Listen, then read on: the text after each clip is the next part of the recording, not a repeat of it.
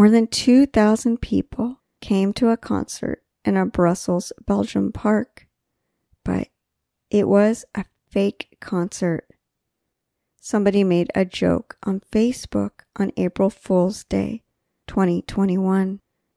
April's Fool's Day is on April 1, and many people in Western countries play tricks and make jokes. In Belgium, there are many people sick with the coronavirus, and no more than four people can meet outside. The Brussels mayor said that he understood that people wanted to enjoy the warm spring weather, but the event could not continue.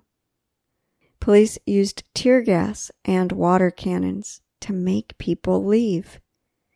Three police officers and two other people were hurt, and officials are now trying to find out who made the post on Facebook.